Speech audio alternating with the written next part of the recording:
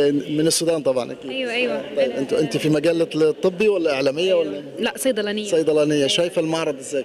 آه، جميل قوي والشركات المشاركة كويسة ودي حاجة كويسة شديد يعني للسودان.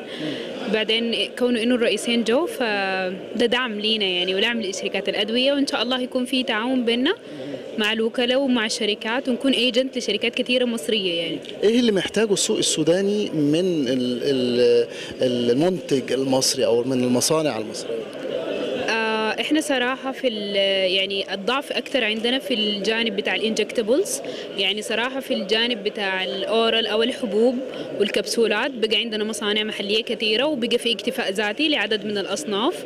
فحاليا أكثر حاجة في الحقن وال injectables يعني ال small volume وال large volume وشوية البخاخات بتاعت الأزمة وكده. لكن الحبوب وكده بقى عندنا اكتفاء ذاتي تقريبا ل 200 صنف.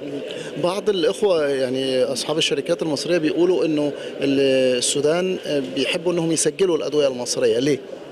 أم، صراحة أول حاجة السعر معقول مقارنة مع الاقتصاد بتاعنا والوضع بتاع المريض السوداني فحاجة في متناول اليد يعني بيقدر يشتريها.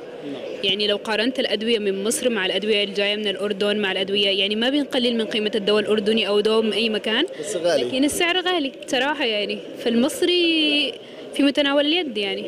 فبيفضلوا الدواء المصري يعني. أول أول مرة تشوفي معرض من هذا النوع يعني معرض مصري؟ آه آه. أنا بالنسبة لي أول مرة أكون موجودة في معرض مصري وتقريبا كنت متابعة التفاصيل كلها زرت كل المعارض من بدري. من الصباح يعني. آه فجميل المعرض استفدتي إيه طيب؟ آه أول حاجة اتفقت مع عدد من الشركات إنه نكون الوكلاء بتاعهم. أنا مسؤولة من التسجيل في شركة نجمه الصحراء. واستفدت عرفت إنه في شركات كثيرة آه بتصدر لبرا و international وهي GMP audited يعني وجاهزة.